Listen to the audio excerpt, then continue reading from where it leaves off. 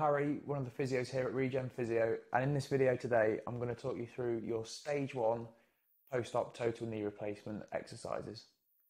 So the first pair of exercises we're going to be doing are ankle pumps and deep breathing exercises. All these exercises we're going to do for about a minute today, but if you can manage to do them any longer, then by all means push yourself and do them a little bit longer. So the deep breathing exercises, what I want you to do is take a big deep breath in through your nose Hold for two, three seconds, fill those lungs with oxygen, and take a big breath out like this.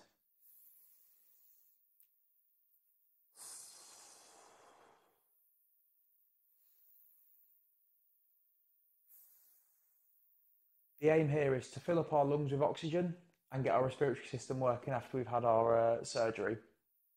So again, looking to do that for a minute. If you can manage any longer, then by all means push yourself and do a little bit longer. The exercise we're going to pair with this is what we call ankle pumps.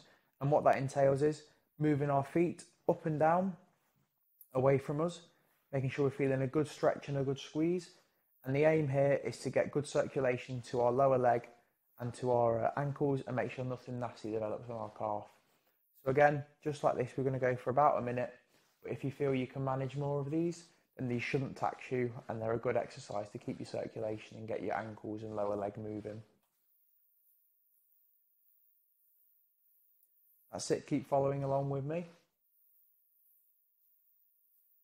That's it, nice big squeeze at the top. You feel like you're working the calves nice and hard. That's it. And five seconds left. Lovely. And now we're going to move on to the next pair of exercises. What we've got are the static quad and the static glutes. so what we do with the static quad is we're aiming to tighten the muscle on top of our thigh. So we're going to pull our toes up towards us and squeeze our kneecap into the bed, aiming for a five second hold. Two, three, four, five, and relax. Again, we're looking to be doing this for at least a minute, but by all means, if you feel you can do more, push yourself to do more. So toes up, squeeze knee into the bed. Two, three, four, five, and relax. This exercise is going to be directly targeting your quad muscle, which is a very important muscle around your knee to get you walking after your surgery. And again, toes up, knee into the bed, squeeze, two, three, four, five, and relax. And again, two, three, four, five, and relax. And again, pull those toes up and knee into the bed. Start feeling the squeeze and the burn now. Again, we don't want this exercise to cause you any long lasting pain. You want to feel it at the time and then it should ease off after you finish the exercise.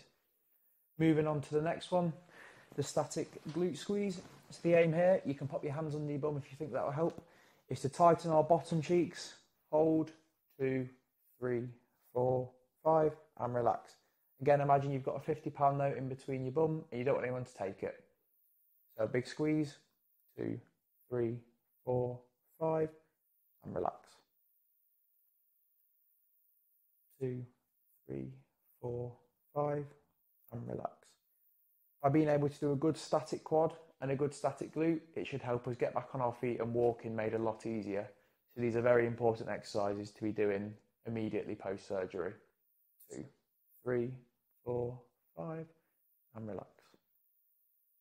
And again, two, three, four, five, and relax. Last couple now. Two, three, four, five, and relax. And the last one. Two, three, four, five, and relax. The last couple of exercises we've got are our knee flexion exercises on the bed and then our heel prop. Starting with the heel prop, what you'll need is someone to pop a heel, um, a towel under your heel. And the aim here is to just let gravity do its job and pull your knees straight. By all means, you can use a blanket or a sheet to pull around your toes and stretch on your calf. Feel a bit of a pull down the back to stretch the muscle, but the aim here is to try and get a nice straight knee. And again, we're just going to leave the heel prop in for about a minute, and if you can build up to two, three minutes a time, that's perfect as well. Because as well as getting a good knee bend, we need to make sure we can get a nice, strong, straight knee to help us when we're walking and going up and down stairs and things like that. So again, it's a nice simple exercise, just letting your knee relax and let gravity do the job. That's it, keep going. Again, we're looking for about a minute with this exercise. Nice and easy. Any discomfort, if you can't quite get to the minute to start with, that's fine also. But we're looking to build that up and get nice and uh, nice and strong at this exercise. If you feel comfortable doing that, you might want to add in a static quad as well. And that is just going to help, again, tightening those muscles and getting that knee used to straightening out a bit more. And the final pair of this exercise is the knee bending. So this one again might be quite difficult after the surgery, so feel free to use your hands to use a sheet to help pull it up. And what we're looking to do is just bend our knee as far as we can. Again, you may only be able to get a shorter range of motion to start with, but it's important we get this one um, working nice and early on because the further we can bend it, the more things we can do. For example, getting on and off the bed, getting on and off the toilet, and up and out of a chair as well. That's it. As that gets easier, you may want to use your hands less and try and work that hamstring muscle on the back of your leg.